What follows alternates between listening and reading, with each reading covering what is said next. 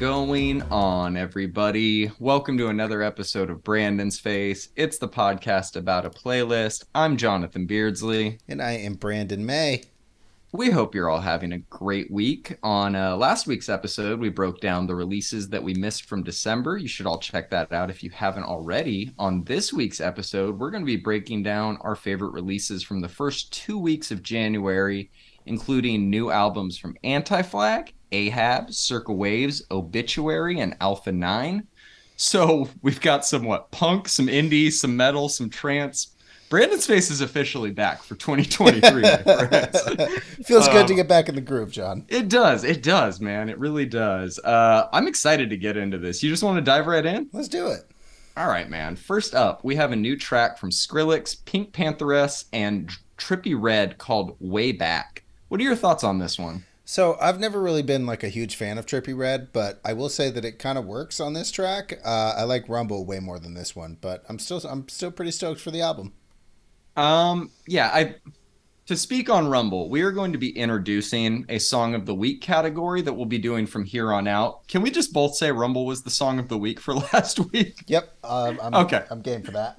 Lock it in. Lock it in. Um, yeah, man. I think that this tune it's very different. It's a neat little like drum and bass tune with some hyper pop mixed in. Pink Pantheress anchors the song vocally. Trippie Redd doesn't sound bad, but I think he's doing just like the Kid Cudi role on this song. and uh, I don't know, it's just not working for me fully, but I don't think he sounds bad. My favorite part of this by far is that last 30 seconds with those little horns worked in, which I'm sure you were loving too. Yep, sure did. Yeah, um, this album is shaping up to be quite something, man. He posted a huge, like, I want to say like eight part Twitter post um, that we'll have to dive into when we cover his new song next week, kind of explaining what was going on in his absence and all of that. I'm excited to dig into that later with you. Nice. Yeah. Uh, let's move on to this next one, which is from Tiesto. This one's called Lay Low. It's from his upcoming album. Is this one less generic than you were expecting, but still very boring? Yes, actually. That's how I, I was like, it sounds like it's good, but it's not. my, my notes say, man, Tiesto's Ghostwriters did a great job on this one. Yeah, uh, the bass is crisp as fuck. I'll give him that. Sounds yeah. excellent, but not much else for me is working on this one. Uh, yeah, I, I still maintain that the last interesting thing he did was Kaleidoscope. I'm going to one up you there. Uh, so Kaleidoscope is the last best thing Tiesto did. However, under his alias Allure, he released an album like a year after Kaleidoscope that was phenomenal. um, I totally forgot he has another alias.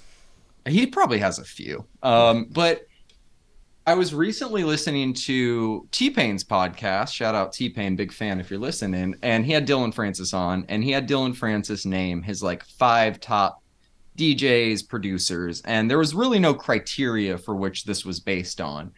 And uh, one of his picks was Tiesto, and he said he picked Tiesto one because he's obviously a legend in the business, but he he's so good with signing people that are never going to get a shot otherwise and getting them a much bigger platform for their music which I think is awesome. Um, but yeah, the product is a little bit watered down nowadays. I, I think that it still has a massive market. And I think that he's very good for the genre in terms of putting people on his label. But man, the like elements of life Tiesto, the kaleidoscope Tiesto, we feel so far from that right now. Adagio for strings. Oh God, perfect song, perfect song, man. yep. uh, yeah, I, I'm still very interested in how this record is going to sound. Yeah, I we'll we'll see what. I happens. think we know how it's going to sound. I'm interested in how it'll come together. Yeah, um, I, I, hope it's more of this because this yeah. was, this was pretty good. It wasn't it wasn't amazing. Like it wasn't said, David it was, Guetta. It was, yeah, it was kind of boring, but other than that, I mean, it was it was it's better than most of the stuff I've heard him play live since. You know. Oh, agree, one hundred percent. Um, all right, let's move on to one of my favorite EDM tracks of the week. This is SG Lewis, Charlotte Day Wilson, and Channel Tres. The song's called Fever Dreamer. And for us to be like seven songs into this rollout and for the quality of every single to still be so high, definitely speaks to the level of artist SG Lewis is and to the quality of the album that we're about to receive, man. How excited are you for this album? I pre-ordered it on vinyl. Yep. I'm considering doing the same. I'm it's, very stoked it's, on it's, this. Uh, I think it's going to be another good one, man. I uh, time still gets plenty of play around the house, so I'm sure this one will be no different. I agree. Um, Times is fantastic record. I went back to that recently too. Glad he put Channel Tres on both of his full length albums. Let's hope let's hope this pairing keeps going going forward. You know. Yeah, yeah. As long as SG Lewis has a career, so does Channel Tres. That'd be a sick tour, by the way. SG oh, Lewis, yeah. Channel Tres.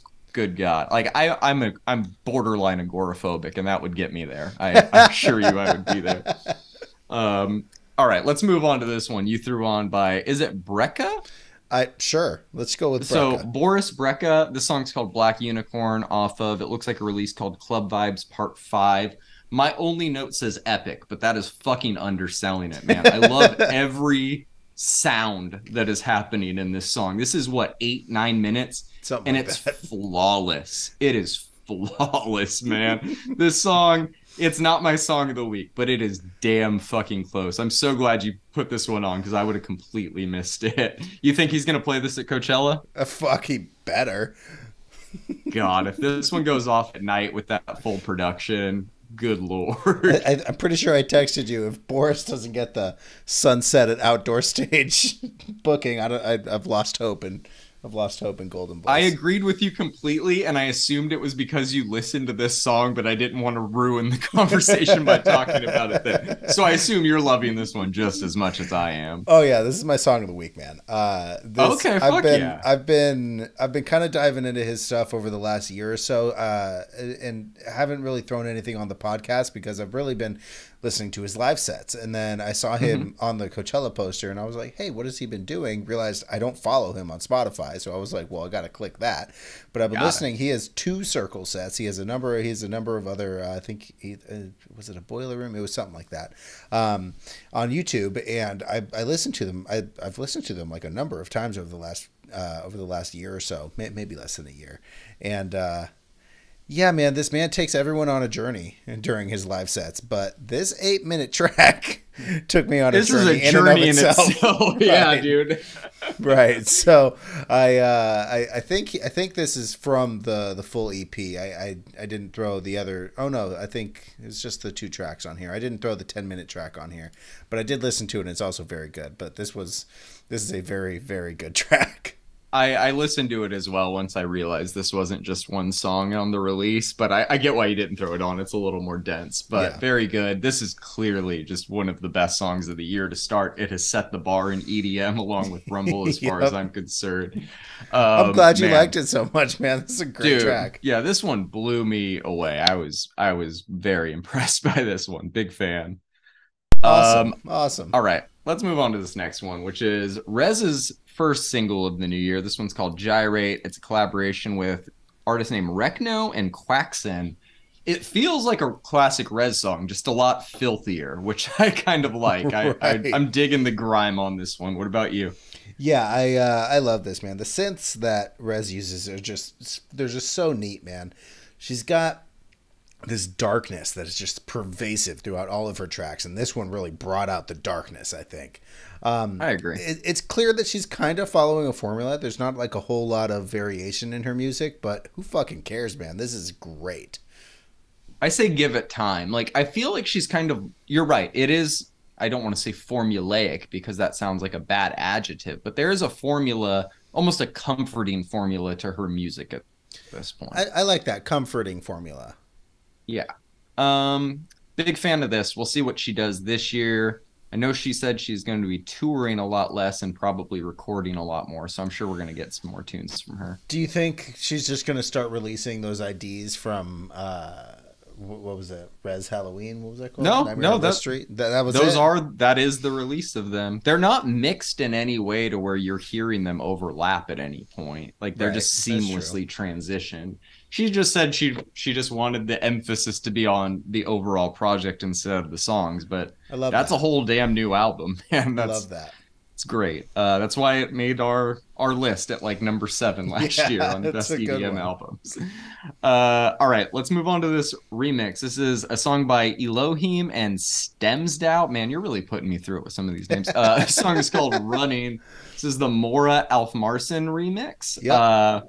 Big fan of the overall vibe of this. Really enjoyed it. What were your thoughts on it? I, I like the original track, and this is a super chill remix of it, and I loved it. yeah this one uh i don't know like 4 p.m at a festival this would be a nice tune to hear Yeah, man. Yeah, super agree. while you're like refreshing you know Yeah.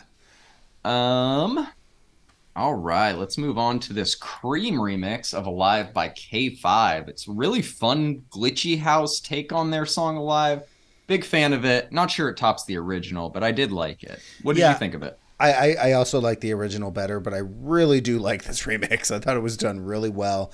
It's like it's like a pretty it's a pretty great rework. I would almost call it a rework rather than a remix, but whatever you want to call it. Love the synths. Yeah. Um, I mean, I feel like they all mean the same thing, but I do get what you mean by that. It felt like he kind of reworked the song from the ground up versus Exactly. just rearranging some layers of it. Yep. Uh, next up is one I threw on here at the last second. This is the um, side piece remix of a Milli by Lil Wayne. Love this. Side piece just makes fucking nothing but bangers. So I'm a big fan of this. I'm sure it's destroying their live sets. They they posted the text Wayne approved the remix, which Amazing. I don't think there's a remix of a Milli Wayne hasn't approved, but props to you guys. Uh, what's your favorite song on the Carter Three? Oh, all right. We're doing that. Yeah, Um, I'm gonna throw that at you out of nowhere. hmm. like, are you like a lollipop a Milli guy, or are you like a deep cuts? No, I'm, I'm gonna I'm gonna look it up real quick. Yeah, please do. no, no, Um, I want you to. I want you to. I want to actually know what your favorite is. On three, it's Lala. Ooh, okay, okay. Yep, that's Well, we know it isn't Pussy Monster, which if people do not, not. know, get you a friend named Brandon who will buy you the original version of the CD so you get Playing with Fire. If you guys are fans of this album and have never heard the original CD version of it, there is a song that is not on streaming because of a sample clearance that somehow made it onto a record that was sold um, that is incredible called Playing with Fire. My favorite is Got Money, Lil Wayne and T-Pain. Love that one. Gets me feeling a certain way every single time, man. Yeah, that, that that's a hype up. That's a hype up song. Yeah, Yeah. man. Uh, I actually so I went in at six a.m. and everybody walks in like zombies at six in the morning at work, and uh, somebody handed me the aux cord, and I was like, "All right, let's wake everybody up." Threw this on, and but but by like by like the second drop, everybody was everybody was getting it. So How can you not? right, You know what's funny is I think it was last year when the I can't remember what Coachella what tent or what venue it was, but they were on it and you sent me like the lineup. I don't think you knew who they Do Lab and you were like kind of weak and I was like, yeah. Side piece is fucking tight though. Yeah. And now I'm glad you know what I mean by that. Because if Yep. you hear this in the Do Lab, you're gonna lose your fucking mind. yep, absolutely. No, I, I I feel it, man. This was uh, this is a this is a great track. So Pump it up. um just just a little weirdness to throw out in the atmosphere which i'm sure you might have caught some whiffs of Zhu is announced for lightning in a bottle correct yep. he also posted as a story just the words Zhu lab Yep. is that happening It's got to. That's kind of what I texted. I don't know if that's you gonna replied get to that shut text. down It's that's gotta get get shut down Like why? Like why would he? Why would he? do you know how many that? people are gonna try and get in there it's Well- it's too much it's gonna be the Kaskade thing i Right, mean not exactly. to that degree but no way that's happening I mean, dude. Zhu's pretty big. He's not quite on Kaskade's level, but I remember him posting, "We're gonna do a redo set at the at the Do Lab," and then posting again, "Sorry guys, can't can't do this." Huge Zhu safety is concern. very big in the EDM community. Like he can main stage, he main stages at EDC now. He's a giant artist. On terms of like a massive every genre music festival, I don't really know where he lands, but if you have him playing in the in the Do Lab and another DJ in the Sahara, you better hope that's a great DJ in the Sahara to try and split that crowd for a bit because it's going to be rough. He, better be going up against Eric Prydz HOLO if that's the yeah, case. Yeah, right? Like literally, literally. Yeah, I, I would saw- be going hollow all the way. I uh, for real. Uh, I actually saw Zhu at Coachella in 2016, I believe. Oh god damn it! And that- and what? that I Sahara tent. Forgot about that. That Sahara tent was fucking packed. I'm talking. Oh I couldn't get into the tent packed. I still saw. I still saw the show from like right at the back, right, right at like the back of the tent. But it was it was packed, and fucking Guns N' Roses was playing at the same time. You know, like Man, what a time when Yeah. the Sahara was eating. I'll tell you. Um, oh, all right. man. let's let's move out of EDM into some some pop and elsewhere. We have one I threw on here from Popcaan and Drake called "We Caa Done." Uh, it's it's kind of a fun throwback to the days of the Controlla demo, but I do not need to hear Drake doing his fake Jamaican accent ever again. Pass. No, thank you. I'm sorry I made you listen to this, but I heard it and I was like, I'm not going to be the only one that did this.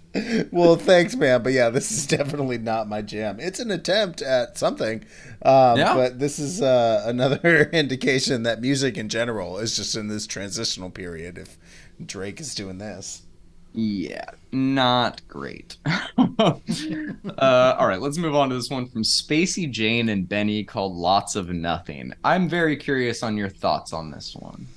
Uh, our weekly BENEE feature is, as always, great. Um, I actually really liked this song. Did you? Yeah, I, it, yeah, yes, it's different. It's different yes. hearing her with like a full band in this context to me, even though it's still vaguely indie pop, which I expect from her. Uh, I think this band is also from her same country, so it's I don't, it's not a favor, but it's definitely her working with probably some people she likes. Uh, yeah, man, I think she stole the spotlight for the brief time she's on the song. I She wish her verse was a little longer, but it's a she decent tune. did. Uh, I, I I enjoyed it. I thought it was neat. she has a new song coming out. She didn't say a release date, but it's called Green Honda and it's coming in the next few weeks. So we can look forward to that. Nice. Do they have Hondas overseas? Um, I, I I mean, I'm pretty sure they're made overseas. pretty bro. sure that's where they come from. Uh, all right, man, let's move on. We got a new one from M83, Oceans Niagara. I believe you sent me a text about this one, right? Uh, I might have About said. them releasing a new album. Yep, new album release. Uh, man, I've actually been waiting for this one. I think their last album was 2019 or something like that. So it's been Mhm. a few years, and uh, new album comes out on the 17th. Uh, like with all M83 releases, though, we have this synth dream pop track that's just drowning in character. Um, I love this. I have high hopes for the new record. We'll see where it goes. What did you think about it? I don't know how I feel about this one as a single, but it got me a lot curious, a lot more curious about what the album is going to sound like. So I guess it did its job. I, I tend to like their more more vocal heavy stuff, but I thought the music on this was excellent. Yeah, yeah, that's fair. I just thought at some point it was gonna like turn into a, like a vocal song, and it just never really does that. Nope. But for what it is, it's an excellent like beginning of this chapter, I think. And we're, we've been seeing a lot of bands do this. I'm not saying this is the intro to their album. It could be in the middle, could be a could be a single, but we're we're noticing a lot more bands rolling out their new albums with like kind of a tease of the atmosphere and the vibe before really getting into the the denser lyrics and the music. Well, I think that kind of opens up a conversation about music in general because singles used to be shit that would go on the radio. Shit does not go on the radio anymore. So, at least in this realm of things, right? I don't know. I don't know where you are. No. I, don't, I don't know about the radio stations where you're at, and like it's probably going to hit satellite radio. I'm assuming it'll be on. Um, what's the what's the alternative Terrestrial radio. Yes. Yeah, so, Oh, uh, are you talking about BPM? no, I'm talking Or about no. alternative something or other. I don't know. It'll probably be there. Um, Alt Nation, that's what it is. Uh, Alt Nation. But singles used to be, hey, go buy our album. Now it is, I think, better used. I think singles are now better used to here's going to be the vibe, and you should listen to the full project. Um, Yeah. Yeah, Well, they they also used to be not just here's my single by my album. Here's my single by my single. If you like the single by my album, they used to true. sell singles in the stores, kids. Um, like, believe it or not, my first piece of music I ever bought was a Master P cassette tape that I did not even know was a single until I finished the one song on it, and I was like, "It's a short album." Um, yeah, man. Uh, it's a completely different model now and that's why you have guys like russ who they drop albums they don't really need to like that's not really their model they seem to do well financially without it he's also independent so that's kind of different he's getting a lot more of his shares of his royalties Yep. um in terms of like the more traditional thing like we saw frank ocean who is very weird to be using as an example for anything like as a baseline for the industry but his his recent shipment of the blonde vinyl restock came with like a poster that kind of has his thoughts on going away from the singles into more substantial works of music. I think that the singles boom was kind of a thing just I want to say 2015 to really now, and now the streaming era, really, like they're being used completely differently. And I think that's exactly what you were touching on. Now it's like bands like Röyksopp, they don't have to wait like, oh, we put a single out, like our our label has to pay to produce a lot more of these physical copies so people can hear it. It's like, let's put a teaser out, then let's put like an intro out, and then let's put the song out because none of this is costing us money in the overhead, you know? Right, right. It's like these aren't physical things that we're putting out unless we want to do like an accompanying vinyl for each release, which some artists do. But yeah, yeah, I, I think that we're shifting into a new era. So what we're trying to analyze is quickly becoming not the norm anymore. Yeah, yeah, th- that's uh, that's fair. Yeah, I actually have a few 12 inch singles. I have. um I just recently learned that it's number one on uh, on Eric Prydz's uh, Mouseville record label. I have Mouseville Oh, okay. number one. Interesting. Yeah, I've got I a- have older ones. I have like a few like White Stripe singles and stuff, but those are just like random record store finds. I don't really have like a ton of single CDs or anything anymore. Do you remember what were they? They were like little. They looked like little Game Boy cartridges. Are you talking like, about hit Switch- clips? I am. I'm talking about some hit clips, it. my man. You want to hear 60 seconds of a song on repeat? hey God man, damn. hey, those sold, bro. They did. They, They, did. sold. I was on like Twitter, or Instagram, or maybe my wife was on TikTok or something, but like we came across like a like a picture somebody had of like a bunch of them that they'd found. And there was this one song that I had never heard in there. And so I looked it up and I was like, oh my God, like how did I miss this? I gotta find it. It's like some like 18 year old kid that they were trying to like make a pop star at the time that I don't think anybody knows, but he has a hit clip out there. Incredible. I love that. Should we start releasing the podcast on hit clips? Yo. yes. Yes. Exclusively on Zoom next month. Coming soon. Brandon'sFace.com slash hit clips. Alrighty. oh man. All right, let's move on, man. We got a new one from tennis called Let's Make a Mistake Tonight. My only complaint about their last song was that it wasn't long enough. This one sounds similar, but it's much longer, therefore I have no notes. There, there you go, man. Glittery and confident. Those are two things that we come to expect and things that I love about tennis. You said last week that you were going through their discography. Have you done all of that yet? There's some really great moments. I haven't made it back to the beginning, although I believe today is the like 10th or 12th year anniversary of their very, very first album. Um, honestly, man, every time I try to go back further through the discography, I'm like, yeah, I'm just gonna play Swimmer again. it's so good, dude. It's so good. It is very It's a good. phenomenal fucking album and i can't believe it took me like two and a half years to find it but in terms of this shit man we're what two songs into this rollout and this is already shaping up to be a classic if the rest of the album is as good as the singles have been Uh, yours, con- yours conditionally is is a very good record. Has one of my favorite tennis songs on it. okay that's the one from 27 i think i started that one i have made it to that one um I think I, I think I might have made it to Ritual in Repeat. I have not made it to Young and Old and Cape Dory yet, though. Well, uh, there's some there's some gems in there, man, and uh, I'm exci- learning, man. I'm, I'm excited. learning. I'm excited to hear the rest of the rest of this record. So we'll see what happens. Yes, thank you for showing me them. Big Of fan. course. Um, all right, man. Next up, we got a new one from Sam Smith, Koffee, and Jessie Reyez called "Give Me." I'm gonna say it for you, Brandon. This song is fucking annoying, but I added it since we hadn't heard from him in a while, and he has an album coming out soon. His his voice still has this like incredible natural warmth to it that cannot be taught or replicated. I'm usually able to enjoy that about his music, despite whatever specific style of pop or R&B he's doing. But whatever diet Rihanna shit Jessie Reyez is doing on the hook of this song, like, needs to be fucking stopped. Diet I hate Rihanna. it, dude. I fucking it drives me crazy. I made it through two listens of this song, and I, we're gonna break down the album when it drops in a few weeks. I'm going to skip this song. Automatic skip. Yeah, uh, this is not my favorite Sam Smith track, my man. No, he, he, he cannot save this one, and he sounds fine on it. Honestly, No, he does. just He, like he sounds fine, but a- oh god, yeah, bad one. I'm glad you felt the same way about it, even if I said the words for you. All right, man. We got a new one from Miley Cyrus called "Flowers." What are your thoughts on the new Miley Cyrus single and her upcoming album? okay, this track is fantastic.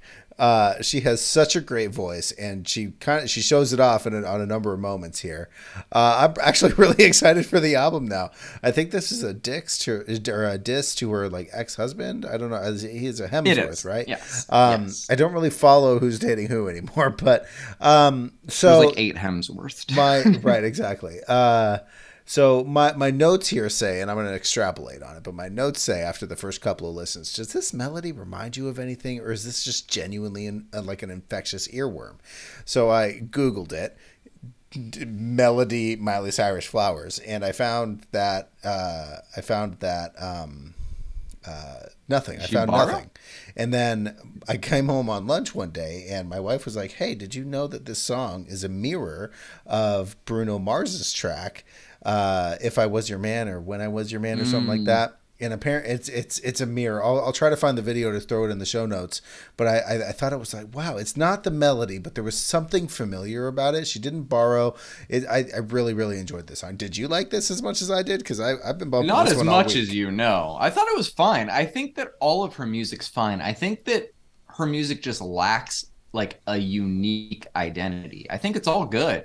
I think she's a, a pretty damn good singer. I just think she switches genres and visual aesthetics so much from album to album that I don't know like what to expect and not in the good way. But I don't know. I think that this one's good. I don't know if if this is the best song that the album has to offer. I don't really know where my expectations for it are, but I'm curious. I think we'll at least get one more single before the album though, so we should have a more complete picture of it. But like her previous albums are so hard to read from single to single. That one that she did with uh what was it? Uh We Can't Stop was also the one that had Wrecking Ball on it. And I can't Right. I hate We Can't Stop and I love Wrecking Ball. So I'm not gonna judge this one based on any single. I'm I'm hoping I like most of the album when it drops. This one was fine though. Yeah, we'll see what happens. I'm glad you really liked it though. I'm I thought you would. I was like, man, this one's got a it's got a catchy tune to it. Yep, it sure does. Speaking of one that does not have a catchy tune to it, we got a new one from Queen Naija. Let's talk about it. We don't really need to talk about it, Brandon. It's a decent song. It's just a little too textbook and formulaic. I do like her though, so I wanted to put her on the playlist. Any thoughts on this one? My notes say this is fine. Yep, that's exactly it. it. It's fine. Um, not her best song, uh, but we'll definitely keep keep an eye out for her. We got a new one from Vedo. That is V E D O. Never heard of this artist before now. And Chris Brown called "Do You Mind."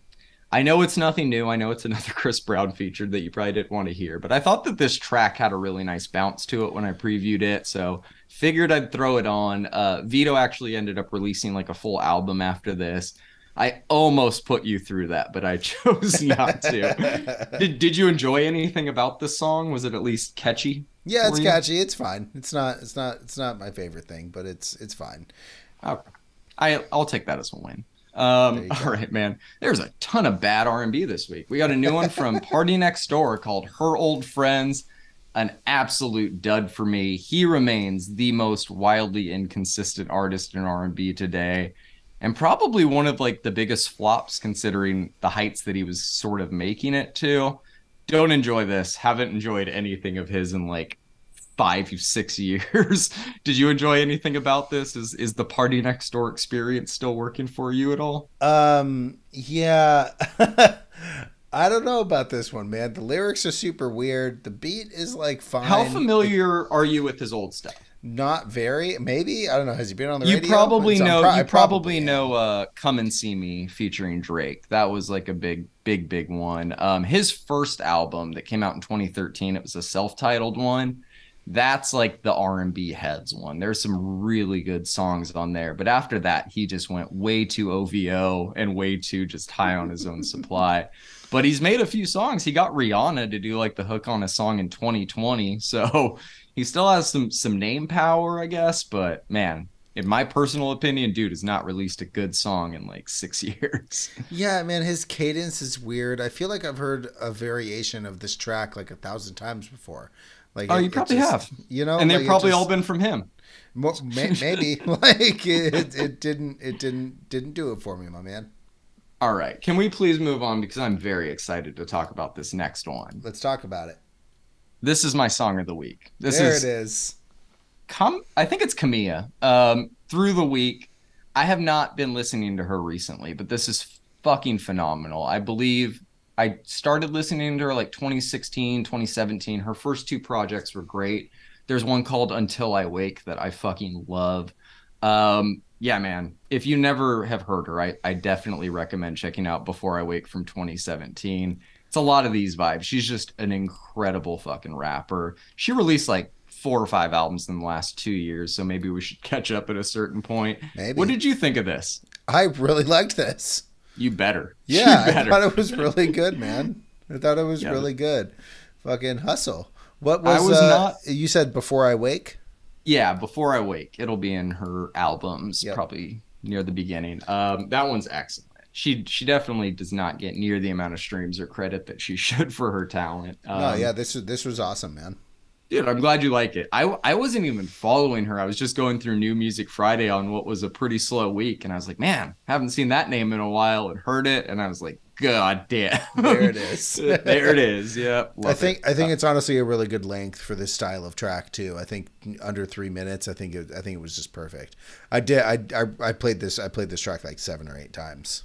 I had a few just like mornings this week where I did not want to be up and going to work. And every time this came on on my drive to work, I was like, back at it. Let, let's go. oh man, I love songs that make me feel like that. Um all right, let's move on. We got a new one from Russ called Put You on Game. This one doing anything for you? Yeah, man. Russ is out here speaking truth. Stop I knew you didn't- weed. I knew you were gonna like the messages in this song. Loved it, man. I loved it. I thought it was great, man. I mean, yes, things sound as simple as stop spending on this, buy plane tickets, but it's not that simple, Russ. No, Um, no, it isn't. But uh, there there is some there is some wisdom in there. I agree, man. I think the lyrical substance of this song saved it from being just kind of a predictable flow in terms of what to expect from a Russ song. Um, all right, man. We got a new one from Black Thought and El Michels Affair called Grateful. Uh, I think it goes without saying that Black Thought is great as always on this. Yes. The beat is fine on its own, but it sounds like he's having to slow himself down more than he's wanting to to like match the tempo on this one. It's a little weird, but I'm still very excited for this new album of theirs. I imagine you're pretty stoked on it. Yeah, I, I liked it, but I agree with you. I think he was trying to slow himself down a little bit. Um, the album is going to be called Glorious Game. It's releasing uh, the first day of Coachella, actually, uh, April 16th. Um, El Michels, M- Michelle, I don't know how you pronounce that, uh, Affair is playing Coachella. So does this kind of make That's like a, right. does this make a Black Thought like a lock in for, uh, for a guest appearance? Uh, I would hope so. Yeah, I would think so. I'm not familiar with their music, so I don't know what else. I don't know. I don't. I don't really know what to expect. Maybe I should be. Sounds like you have some homework to do for Coachella this year, my friend. Maybe. hey, you always love discovering new artists. This is this is your chance, man. I yeah. I made a spreadsheet the day the lineup dropped. I'm a big. it's a little of that. different though when uh when you're going and you have the option to see everybody versus like let me do all this research and then it's like oh they're not streaming their set i'm not gonna even see it but let's hope they get some some spotlight uh all right man we got good lord we got one from armani and denzel curry called GOATED this is the first certified banger in the hip-hop category this year good lord have you ever heard armani white before no, never heard of Armani White. Dude, I stumbled upon this dude when he released his first song, which I think was called like NYC Window, like years ago. And like I remember just like thinking he was an incredible rapper. Like his first three or four singles, I was like, this dude is as good as most people that you hear like way higher up in the industry than him. I'm glad that he's finally like gotten his name out there. I was surprised. I had to like double check and I was like, this is the same dude. And I went through his singles. I was like, first single NYC window. Holy shit. Dude, this is a fucking banger. Walk on the track like I'm walking to Poland. Denzel Curry. How do you not love this guy, dude? This is incredible. Yeah, no, th- th- this is great, man. This was this was uh, this was a lot of fun. I don't think we have an album announcement yet but I imagine we're going to get one soon. Well, I peeped his Spotify profile, and it looks like uh, he put one out in uh, the last album he 2019. 2019. Yeah. Yeah. So, uh, good for he's him. Due. Got, uh, maybe maybe I've just been living under a hip hop rock man because he's got 10 million monthly listeners. I'm not. That's not a lot in hip hop, though, man. That's I mean, not I, a lot I mean, in hip hop. I guess, man, that would be a lot for for me. Imagine if we were getting 10 million downloads on our podcast every month. Everyone, if we do not have 10 million downloads by the end of this month, the Brandon's face podcast is over. You heard it here. No, no, never, never. it could be The Last of Us, and we're going to be podcasting from the quarantine zone, right? All right, man. Did you guys hear that new acoustic guy outside of the bar last night? um, that'd be awesome, actually. Uh, all right, let's move on. We got a new one from Parannoul.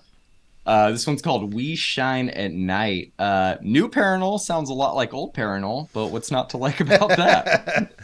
Again, I have no idea what they're saying, but I know that I fucking love it, uh, as I have loved most of Parannoul's music since we discovered them. I have to say, I, I I, I don't know if anybody's ever translated their music, but uh, I'm I'm curious to know what they what they're saying. Seems like I'm they've sure got a message, you know. Yeah, yeah. They make music at a rapid pace, and it's very dense and complex for the amount, like for the speed at which they make it. I'm right. eternally impressed. I really love how distorted this one gets near the end. It's a yeah, fun man. one. I, I think it's safe to say we'll get a new album from him. Them they uh they released what an album, two albums, three albums in 2021. I think we'll get a new album. Yeah, uh, yeah. We'll let's see, hope. All right, man. Let's move on to this new one from Periphery called Wildfire. This one fucking rips, man. It is. It's structured like a Christopher Nolan movie, but there's almost nothing in it that doesn't work for me, man. There's a there's a fucking two minute jazz bridge in this song, and it's fucking awesome. Uh, I saw you through that their their new album on our on our release calendar, yep. which is incredibly called Periphery Five. Djent is not a genre. Love that title. How are you feeling about this one? Okay, hell yeah. Uh, this is just a fucking party, man. Uh, this is just a lot of fun to listen to, man. The dichotomy of the clean vocals coming in without like a formula in the verses, they just kind of come in, and and then the like an the actual jazz break, which comes in so fucking smoothly that you barely have any idea how it happened. And yeah. I, I'd like to say that I've been listening to some metal with uh, saxophone recently but this is not just metal with saxophone, which does work and is really cool. This is like a legitimate jazz break in the middle of a metalcore song. It is really incredible. The string yeah, section at the end, crazy. man, full Vince McMahon meme. Uh, Djent is not a genre It comes out on March 10th, and I think it'll be a good one. Correct me if I'm wrong, or if you don't know. Wasn't this vocalist the one that took over not the not the immediate singer after Sonny and from first to last, but when they redid Note to Self a few years ago, wasn't this the dude that was doing the vocals? Huh? Maybe. Now that you say it I think it, it was. It, it, he sounds familiar. It's very possible. That's actually a really good remake of that song too. I, I, everyone was expecting it to be sacrilege, and everyone was like, "God damn, this is really fucking good." Yeah, man, that that re- that remake. I, I don't want to speak out of line. I'll do some homework after this, but I'm 99 percent sure that the singer of Periphery was the one doing that. Well, there we go.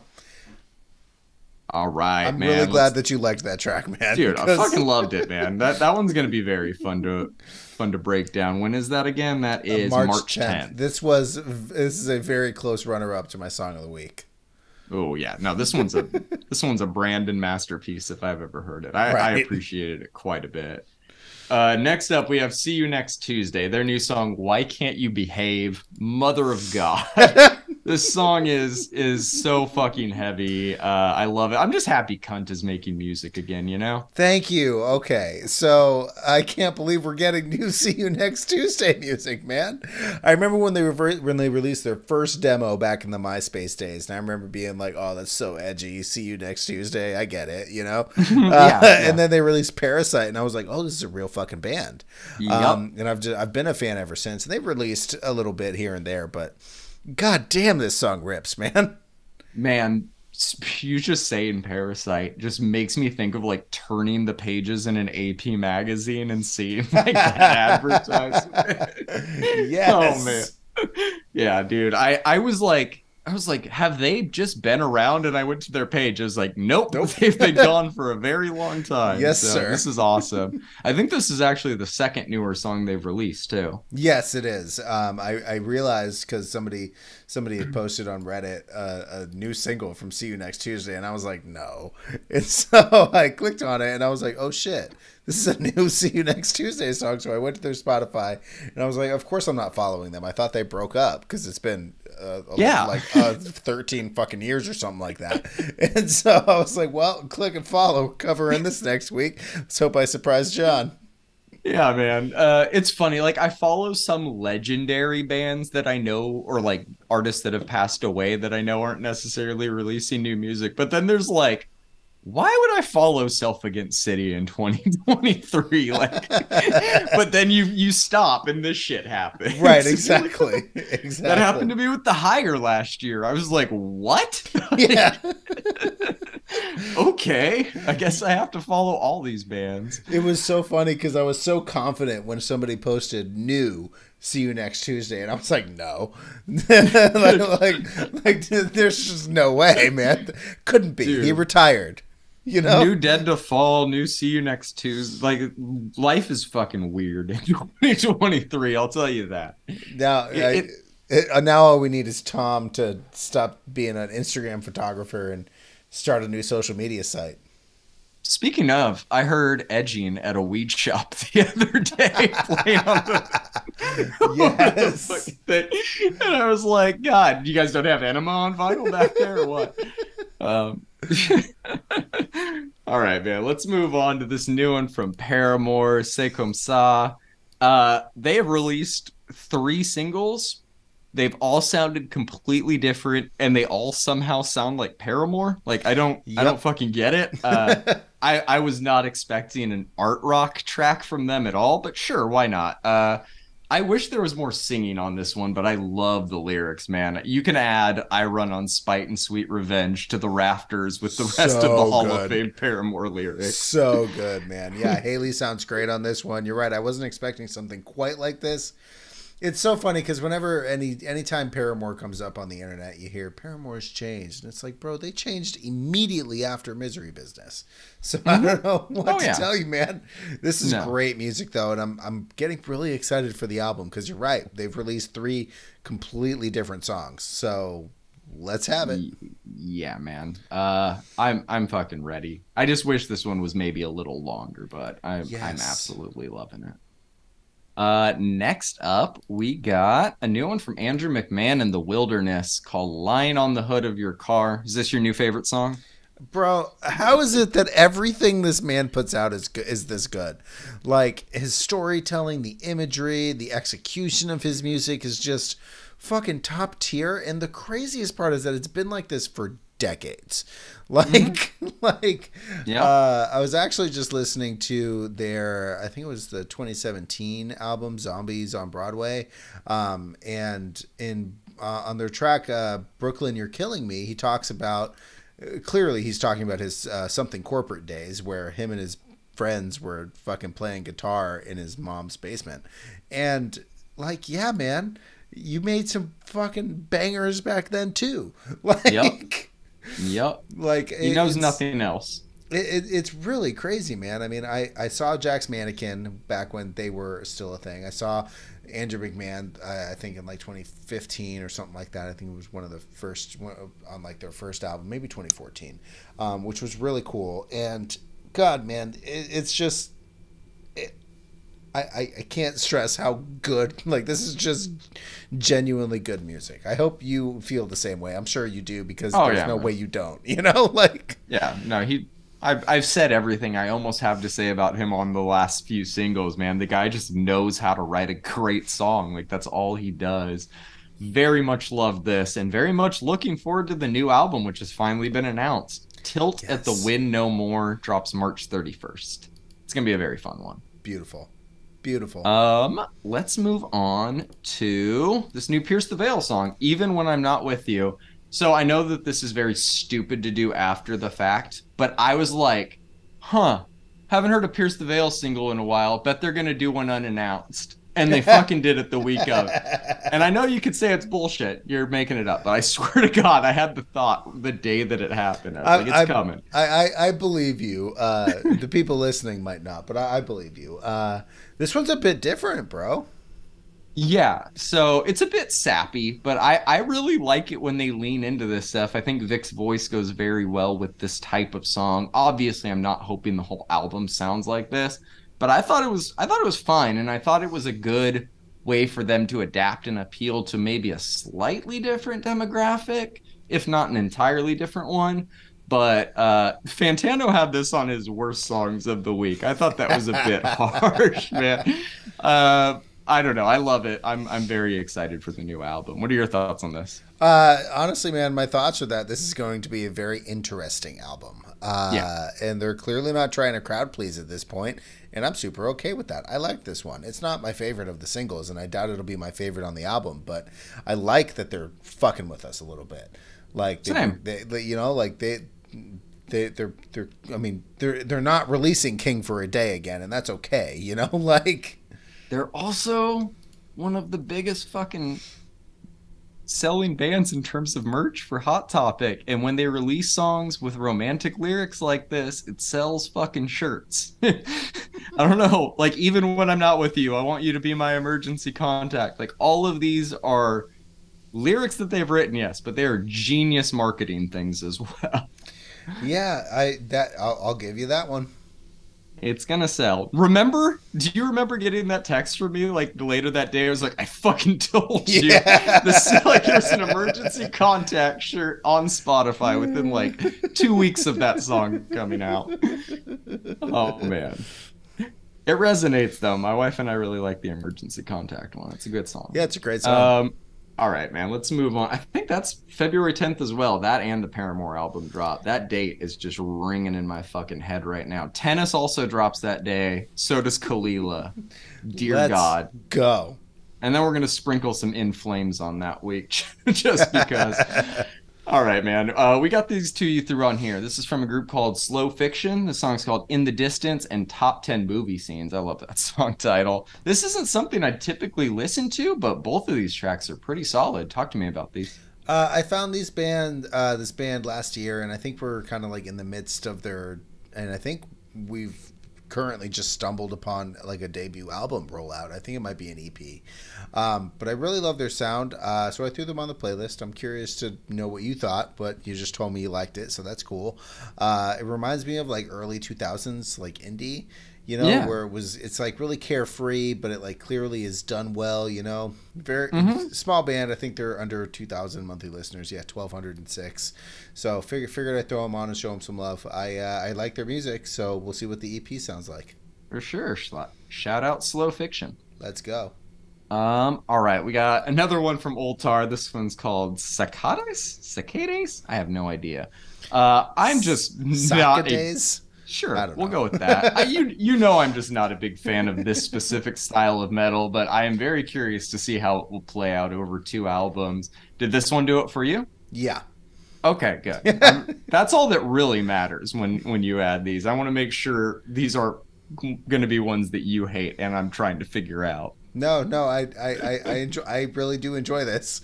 Um, I, I've, I've, I've actually, I actually just discovered a, an, another black metal band yesterday that I've been really digging. So Of course I'll, you did. I'll, I'll, I'll send them over to you.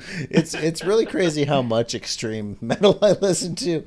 Oh man, I don't subject you to all of it, but I subject you to some of the best ones. I'm gonna I'm gonna add that Vedo album next week. I'm just joking. I'm just joking, man. don't I- I threaten me with a them. good time, man. If we're gonna go toe to toe with not. extreme I metal and R it. and B, I skimmed it. It is not a good time. I'll tell you that. Uh, no, man, I, I didn't hate this. It's just not my style of metal, but I think they're an interesting artist. Is it one dude or is it a group? Sure, I have no idea. Well, I'd like I always assume these are groups, you know, but then like there was a few that we did last It's year where it's like one dude created this. Like, what the fuck? In fact, we we had two albums that we reviewed last year, both? Cosmic, Cosmic, Cosmic? Putrefaction and Pharmacist, both one guy. Both insane that one guy made both each of those insane music too. Those albums were wild, man. They were. Um, all right, next up we got Trivium Implore the Darkened Sky. This one surprised me. It fucking rips. You enjoying this one? Yeah, uh, this one is pretty good, man. It's not the best uh, I've heard Trivium, and you can kind of start Obviously. to hear you can kind of start to hear the wear on Matt's vocals at this point. Um, and since I reviewed a Megadeth album last year, Brandon. I've heard the wear on vocal. and and the year before an At the Gates album, uh, Oh god, And yeah. that it- album rips though. Yeah, that that is very true. Um, and since I didn't like Trivium's last album, though, it's almost a guarantee that I'll like this one since they're on kind of the same schedule as Jack White for me. So we'll, we'll we'll see we'll see what happens. One for me, one for them. There it Um, is. All right. uh, okay. Uh, before we get into the albums, Viagra Boys released the deluxe tracks to Cave World. Any of these do it for you? Uh, the yeah, I, I figured I'd throw on the new tracks. I, I get why these didn't make the album. Um, they're not bad tracks, but they're not just they're just not really congruent with the rest of the theme of the album, at least totally. Um, so I understand it, but Did these make you revisit the album? yes, I really love that album so I, had, much. I had a feeling it would. Yeah, uh, I I think It Ain't so Enough much. was my favorite of the bunch, but they're all pretty solid. I don't know. Yeah, it ain't enough is pretty good. All right, buddy, you ready to move on to the albums? Let's hit the albums up, my man. We got a couple good Okay. ones. We do, we do. And the first one is actually a pretty good one. The first one we're going to talk about is Anti Flag's album, Lies They Tell Our Children. I don't have a ton to say about this album other than I think it's pretty damn good. Like, I thought most of the collaborations delivered. Shane and Jesse both sounded phenomenal. But I was really impressed with the non collaborative tracks as well, particularly The Hazardous. I really enjoyed that one. Uh, the only song that didn't really work for me personally was Victory or Death, but that's just personal taste. The rest of the album I thought flowed together pretty nicely. I have this one in like the six to seven range. My standout is Laugh, Cry, Smile, Die, obviously, but Imperialism and The Hazardous were great too. How are you feeling about this one? Look, man, I really love the collaborative punk project, bringing in people from. Like, I would love the idea of a collaborative punk project, kind of bringing in people from within the Same. genre and even some like adjacent subgenres to kind of create a project like this. But I feel like the concept, I feel like I like the concept more than I like the execution here. The music is good. It, it just didn't grab me the way I wanted it to, I guess. Maybe it's the mixing. It sounds really clean. You know, punk maybe needs a little bit more feedback and rawness to it. Other than that, I think it's, I think this album's like a really good time. Uh, I listened to it a few times, and while I like it for what it is, it kind of just left me wanting old Anti Flag. Um, but I love, uh, I love laugh, sm- I laugh, cry, cry, smile, die. Love, love that song. Um, I really actually like the Tim McIlrath feature as well. Um, but my standout is the Hazardous, and I have this. anywhere Hey! between- I have I have this anywhere between uh, six or seven. Uh, it's just like you. I really, I really did like it, but it just left me craving. Let's go scream obscenities at the government. Anti-flag. Yup. You know. Hey, hey, have you seen Anti Flag live? Uh, no, I have not. I had the chance to, and I was really tired, and I was like, I gotta go home. That's the least punk rock thing you've ever said. I know. I was hoping you weren't gonna ask me that, but I'm not gonna lie. You know, No, no, I appreciate you telling the truth. I would have done the same. I was Uh, I really did tired, them. man. I caught them at Warp Tour Marysville. I want to say like I don't somewhere in 2004 to 2006, that range maybe. Um, but yeah, they, they were really good. Great band live. I'm sure they are, man. They they they put out some really good music, and I've uh, Man. Been, I've been a fan of theirs for a long time. So That was that sweet spot at Coachella where it was like the emo wave was hitting, but it was like perfectly balanced with 50% of like the old school culture. Like it was still always NOFX, MXPX. Um, yep. What's what's the ska one that everybody loves? Uh, like real Less than Jake. Less, less, Less than, than Jake. Jake. I was like, Yeah, I, don't man. think real, I don't think Reel Big Fish has ever played, but it's less. No, no. That's that's too ska for Tour.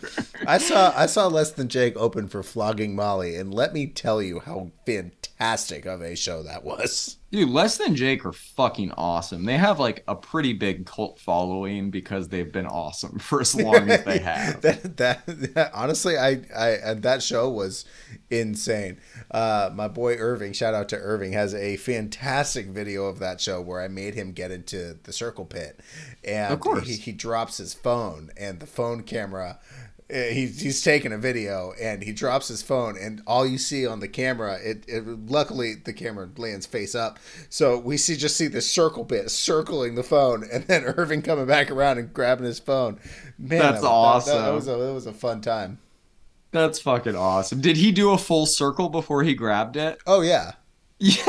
oh I I, I, was Oh like I was like we're, we're going in this pit bro Man. like Man, I I hope I hope this new generation learns pit etiquette. I don't care if they're doing it at EDM or rap shows. You have to know pit etiquette, man.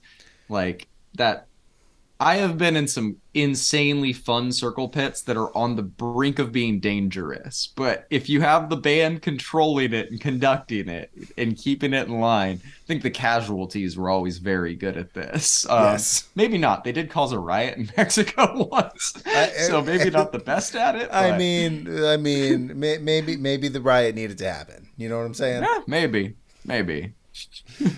Dude, you just remind me. Have you? There's a whole Ocean's Twelve subplot where they go to Mexico to rig the dice at a dice factory, and it's like my favorite subplot in a movie. I've ever. never seen Ocean's 12 because Oh I saw God. Ocean's 11 and I was like I'm good no what? yeah Oh my god, that's a, Uh, that's another day, buddy. I'm, I'm a smoking aces kind of guy. But speaking of punk bands uh, causing riots, one of my favorite stories is the Exploited. Uh, they were about to go uh, play in Montreal, Canada.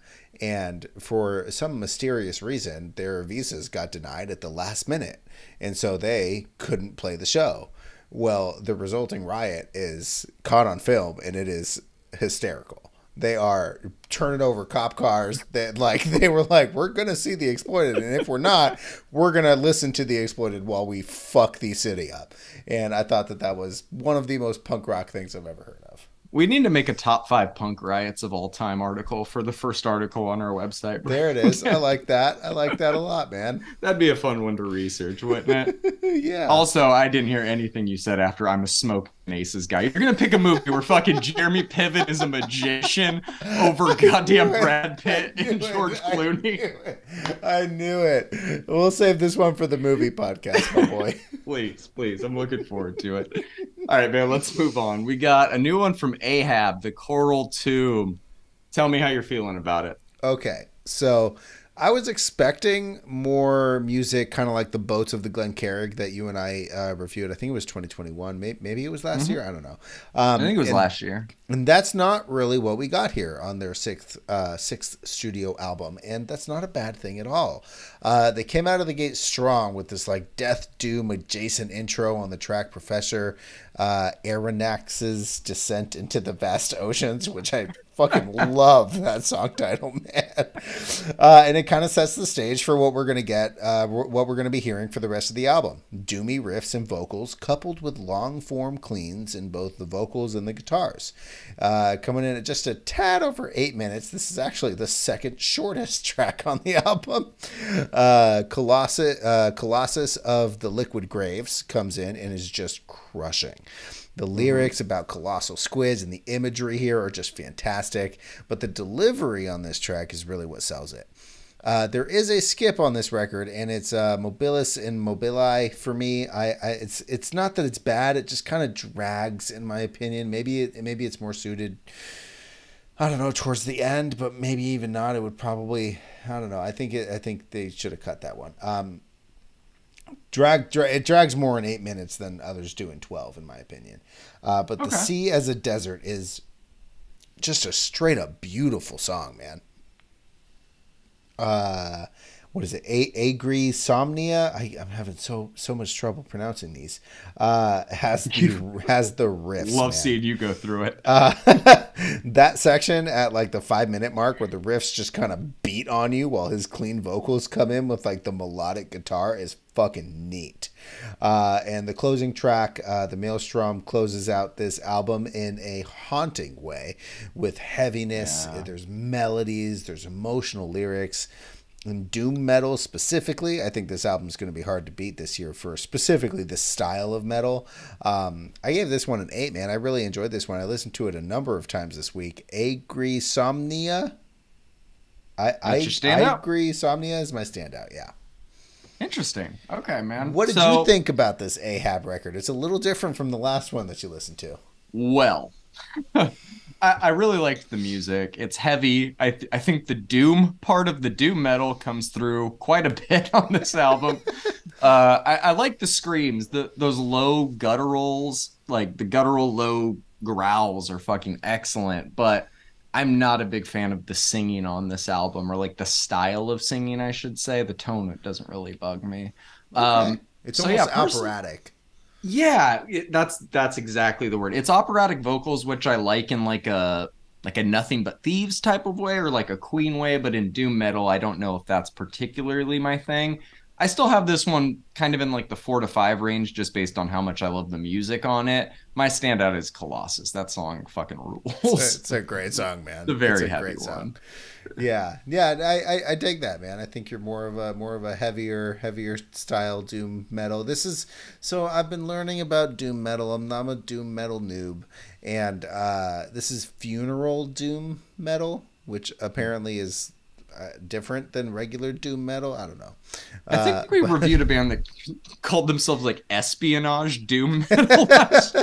Dude, we, I don't know. I'm, I'm, I'm learning about it, man. I, I think I think it's a I think it's a fun genre that I'm just trying to kind of jumping into, and it's and it's funny. I never really got into it after being into metal for 20 fucking years. So Well, you and I kind of met and bonded over EDM, and over time realized we were both grown, like grew up listening to a lot of the same scene stuff and bonded over that. It's fun to get into a new genre or explore an entirely new genre with you at the same time. I remember when you showed me your colors vinyl. I was like, "You listen to Between the Buried and Me?" like, Yes. I'm, I'm, I I'm sorry. do. I'm sorry. What? Like, I definitely do. God damn. Uh, what is it? Foamborn A and B. God, that Jesus. album is incredible. Uh, all right, man. Let's move on to the Circa Waves album, Never Going Under. Uh, I thought this was a, a fun album, man. The songs are well written. It's produced well. It mostly feels like a feel good indie rock album with the occasional like surf rock influence. Its energy can be really infectious it's probably not going to be in my albums of the year. It's a little too poppy for my personal taste, but I think it's a solid release that I could see myself throwing on when I'm in the mood to listen to something like Grouplove adjacent. Um, I have this one kind of between a five and six. My standout is "Do You Want to Talk?" How are you feeling about this? You you kind of introduced me to them. I uh, have really loved this band since I think like 2017 when they released uh, "Different Creatures" is I think the album title, um, and they really took kind of a poppier approach on this album, and I think I think we have a little bit of a gem on our hands here. Uh, I struggled to figure out why this band isn't more popular than they are. Uh, I see basically no buzz about them. I see them on very few lineups, and that kind of like bums me out a little bit. I don't know. Uh, I really hope that people are listening to them. The album starts out with a banger in the title track, Never Going Under. Uh, they really do a fantastic job of kind of blending pop and rock here. Uh, Your Ghost is so much fun. I love the lyrics on that on that song. Uh, the strings on Northern Town on the outro are gorgeous. Uh, the bass line paired with the piano that. on "Want It All Today" is something that I didn't know I was craving, but man, it kind of scratched an itch for me. Uh, this whole album did. Uh, my only complaint is that it's actually a little bit too short um, as a whole, coming in at just under 35 minutes. The closing track, mm-hmm. "Living in the Gray," uh, we covered when they released it as a single, but I think it takes on new life with context of the whole album, and with it being so short, it actually is very easy to get from "Never Going Under" to "Living in the Gray" in one sitting. Um, I, I, think the whole record is great, man, and. Uh, I, I, really enjoyed it, as I have with most of their work. It's a little poppier, like you said, it's a little poppy, um, and it's actually a little poppier than most of their other work. But I will be uh, probably revisiting this one throughout the year, man. I, I, I really like this one. I gave it a seven. Uh, Northern Town or Never Going Under are my standouts. I couldn't decide between those two. Okay, excellent album artwork as well. Yes, like this one. Um, all right, man. Let's move on to this new one from Obituary called Dying of Everything. I knew you got really excited when this one was announced. So tell me, did it live up to your expectations? Uh, yeah, yeah. This is an obituary album, man. This is old school death metal. Uh, they've never been the band to push boundaries, uh, except like maybe in the '80s when they started. Uh, but this is Obituary's 11th studio album and their first since 2017, and it is uh, most definitely almost exactly what I expected it to be. uh, it's heavy at times, a little doomy, with like a splash of hardcore elements, just to give it that sure. signature obituary razzle dazzle here. Uh, look, man, there's not much more to say about this album that hasn't been said about their previous ones. It opens with Barely Alive, and the tone is like immediately set within the first five seconds. Blast beats, double bass, strained vocals. There's a fucking guitar solo, not even a minute into this album, man. Uh, these guys are legends in the scene for a reason. Uh, they really pushed like this old school death metal sound forward in the late 80s. Uh, if you or anybody listening has not read it yet, I highly recommend uh, the book Choosing Death uh, as it covers Obituary's early years and just like how influential they were. I don't personally think that they've continued to be as influential as they once were. However, I think that they've still got it as evidenced with uh, this record, and I think they'll continue to chug along and co headline tours as they deserve to until they no longer want to do those things. Uh, it's somewhere between a six and a seven for me. I really liked it. Uh, my standout is War, uh, mainly because uh, there's like this moment where like an acoustic guitar comes in to like play the riff, and I and I remember thinking like, oh, is this the outro? And then nope, they crush you again, and I was like, classic, classic. What'd you think about this obituary album, my man? Thought it was okay. Uh, I usually like my heavy music to be primitive and raw, but this album put that to the test, man. uh, I I thought the first two tracks were great. They come out of the gate hot with a lot of blast beats, a lot of thrash heavy riffs. But my personal interest in this album faded away as it went on, uh, with the occasional exception, of course. This one I have kind of in the four to five range like you said, it's it's an obituary album, so you'll enjoy it as much as you enjoy obituary. Barely Alive is my standout. I thought that one was fucking awesome, and I think maybe that's why like it affected the rest of the album because it started with what was easily the best song to me, so it never got as good as feeling what what I felt when listening to that. Yeah, but I it's mean, a decent it, album. It started on a high point. Are you? Uh, I I mean, it's I I I. I uh, once every two years or so, I'll go back to Slowly We Rot, which is I think their 1989 album, and I remember I, I like every time I do, I'm like, oh yeah, oh this is this is good. and there's like almost nothing in their discography that's gonna make me feel like that album did the first time I ever heard it. I remember sitting in sitting in my sitting at the family computer because nobody had laptops at the time, and downloading from what, what, what, fuck what was it called Sky Searcher, Soul Seeker, Soul Seeker, and it was a peer to peer uh, download down music downloading thing, and I remember downloading Slowly We Rot and putting it in my headphones for the first time and being like, "Oh shit!" And uh, yeah, I don't think ever anything's ever gonna make me feel like that again, even from Obituary. But I did like it, so. That's what these bands do, man. They make us fans with like one piece of art or, you know, a few few pieces and then we're just chasing that dragon for the rest of their discography. yeah, man. I really do like the album art on this one though. I think it's pretty, Oh, great album art. Neat. Yeah, we should do an album art of the year category at the end of Ooh, this year. I like that. Yeah, keep that in mind as we go. Will do. Um, all right, let's cap this week's albums off with this new one from Alpha 9 called New Horizons. Tell me about this one. You threw it on kind of by surprise. Yeah, uh, I did. I don't. I don't really know if you're familiar with ARTY. Uh, I know ARTY, This is yeah. his other moniker. Uh, I thought it was cool, and it is. Uh, there's not much really to review here besides the fact that it is indeed trance music. It's new, and it is, Is it? indeed No. pretty cool. uh, Yeah. I gave it a six. My standout is "Letter to a Beloved One." I previewed it before I threw it on, and I was like, you know what? We haven't we haven't listened to a trance album in a long time. Let, let's let, let, let's let's uh let's throw some razzle Not a pure trance one like this. Exactly, Especially. exactly. Yeah. Yeah, I really like this. I mean, I, I say pure trance. It is a little more trance house than pure trance, but there's that. I think I'm getting the house because there's just an edge to it that he has. Mhm. Um, if this album would have come out 13 years ago, this would have been maybe my favorite album. Yeah, it, it shares a lot of the same DNA that some of like the best trance albums of that time had, you know? It gave me real Paul van Dyk crush vibes. Totally. Yes. Excellent album. Goddamn. Uh it, it runs a little long, but I think his creativity keeps it from getting stale. I also gave this one a six. My standout was Calling. Oh, I like that song. Yeah, that one and I think Down to Love was probably my second stand up, but there's a lot of good ones on here. I appreciate it. I'm definitely going to be revisiting this one a little later in the year to see how it's aged against other releases once we have more to compare it to. Nice. Yeah, I, I, I enjoyed it. I yeah, I thought it was, I thought it was interesting that an album released. And I, honestly, I knew after previewing the the first few songs, I was like, we're not gonna have much to say about this, so it'll be fun to just listen to. Yeah. Nothing wrong with that, man. No. Well, that does it for us this week. On next week's episode, we are going to be breaking down new albums from Kota the Friend, DJ Hansel, New Found Glory, and We Are Scientists, plus a ton of fucking singles. Uh, and before we wrap up, to recap, your song of the week was Black Unicorn by Boris Brejcha. Mine was Thru The Week by Kamaiyah. Check those ones out if you guys did not listen to the playlist before listening to this podcast this week.